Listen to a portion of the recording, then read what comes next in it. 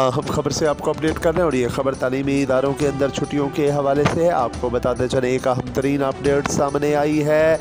इस वक्त पंजाब के शहरी इलाकों के अंदर ओमिक्रोन के केसेस बढ़ना शुरू हो गए हैं।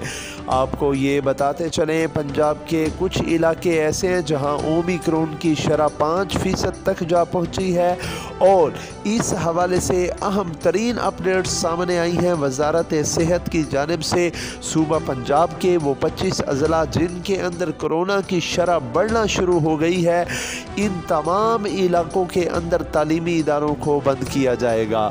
वजारत सेहत की जानब से ये तजावीज़ सामने आई हैं। वजारत सेहत ने एजुकेशन डिपार्टमेंट को ये कहा है कि वो तमाम इलाके जहाँ कोविड 19 की शरह बढ़ रही है, उन तमाम 25 अजला के अंदर तलीमी इदारों को बंद किया जाए। लेकिन इन तमाम चीज़ों का जो हतमी फ़ैसला है, वो एजुकेशन डिपार्टमेंट की ही तरफ़ से होगा। एजुकेशन डिपार्टमेंट का इस हवाले से क्या कहना है? जैसे ही एजुकेशन डिपार्टमेंट की तरफ़ से कोई नोटिफिकेशन आता है, आपको मुतल कर दिया जाएगा।